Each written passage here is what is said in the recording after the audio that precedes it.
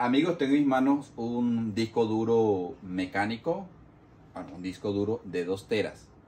Se lo voy a poner a mi Xbox Series S.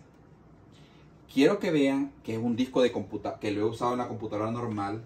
Tengo algunos archivos aquí, películas y cosas así. Vamos a, a ver que esté conectado, ahí va a aparecer en la computadora. Ahí está entrando, ya me va a aparecer por acá. Aquí está. Se llama M2 Series y Sagas.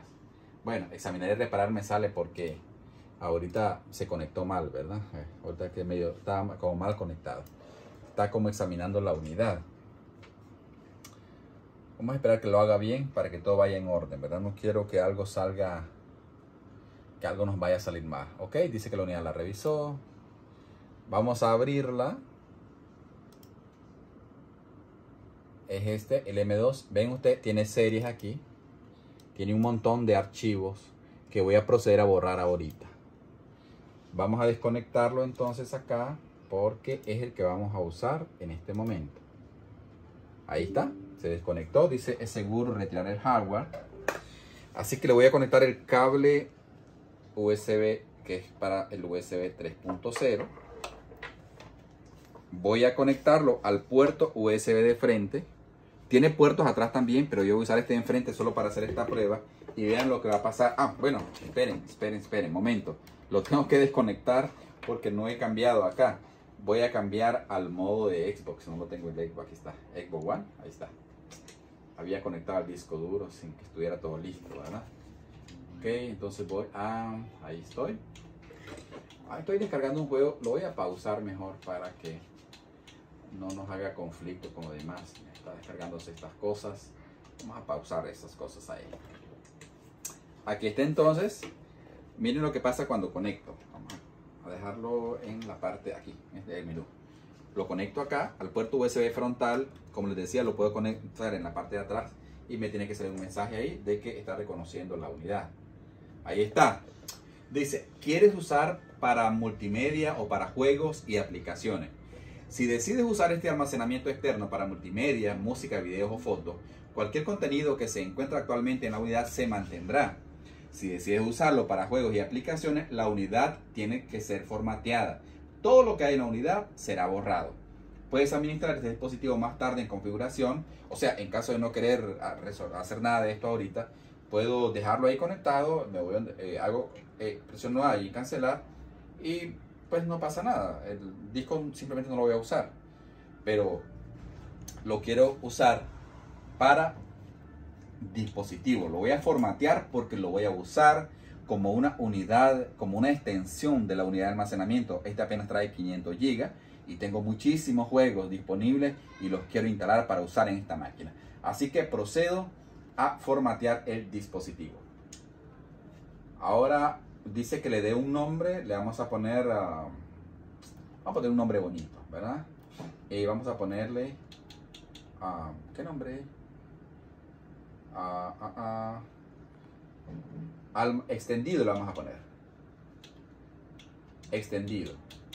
Porque es como el almacén extendido de, la que tengo, perdón. Del que ya tengo. Extend extendido. Ahí está. Le presiono Start. Instala, dice cosas nuevas aquí. Y también le puedo poner mantener ubicación actual. Le voy a, voy a activarlo en instala cosas nuevas aquí. Pero va a haber una advertencia, ya se la voy a decir. Eh, formatea dispositivo. Ahí. Y va. Ok, está formateado. Dice que puedo presionar este botón para ver cómo está. Y entonces, ahora sí. Aquí tengo la unidad externa que tiene 1.8 TV para almacenar. Por todo, dice que por todo tengo 2.1 TV. Con el interno que trae más este me da 2.1 TV. Pero solo él tiene 1.8. Aquí en este lado puedo elegir eh, si yo quiero que estén los dos o solo uno. Si me voy extendido, si me voy a total, por ejemplo, me sale 2.1 TV. Pero si me voy a a ver solo una parte de almacenamiento interno, me va a aparecer solo lo que tengo interno ahí, que es de 328. Bien, ahora viene la advertencia. está conectado esto y voy a ver mi biblioteca de juegos. Tengo más de 80 juegos acá. Vamos a ver dónde es mi, la biblioteca. Vamos a irnos a la biblioteca acá.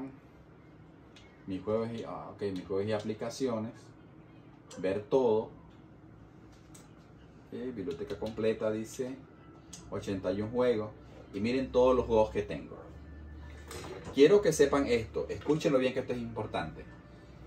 Todos los juegos que tiene XS no se pueden entrar en esta unidad. No se puede, no lo acepta. Los juegos que tienen XS se pueden instalar solamente en la unidad interna. Y lo vamos a probar justo ahora. Por ejemplo, si quiero descargar, no sé, vamos a buscar un juego cualquiera aquí para descargar. Eh, por ejemplo, el Infinite, si lo quiero usar, quiero descargar el Halo Infinite. O por ejemplo, sí, ok. Miren si intento descargar lo que va a suceder. Instalar, dice todo, pesa 23 GB, vamos a poner instalar todo y van a ver dónde se va a instalar. Que no lo va a instalar en la unidad externa, sino que en la otra. Miren, aquí está el mensaje que quería que ustedes vieran. Escuchen bien. Dice, los juegos más modernos necesitan almacenamiento más rápido. Aún puedes instalar Halo Infinite en el extendido, que es este. Pero para jugar tendrás que mover el juego al almacenamiento interno de la consola o una tarjeta de expansión de almacenamiento. ¿Ya están claros de eso? O sea, yo puedo descargar el juego aquí, pero no lo puedo jugar desde aquí. Tengo que instalarlo en la unidad interna o comprar una unidad especial SSD que vende la Microsoft ya para él o otras empresas fabrican también y se conecta por la parte de atrás, una ranura que trae que es para conectar la memoria extendida. Así que eh, esto lo vamos a, dice, instalar de todas formas. Vamos a ponerle instalar en almacenamiento interno en su lugar. Así, presionamos A y se va a empezar a instalar. Y eso mismo, amigo, eso mismo va a pasar con los demás si yo intento instalar Assassin's Creed Origins, que ya ahora ya viene para esta versión XS, me va a decir exactamente igual.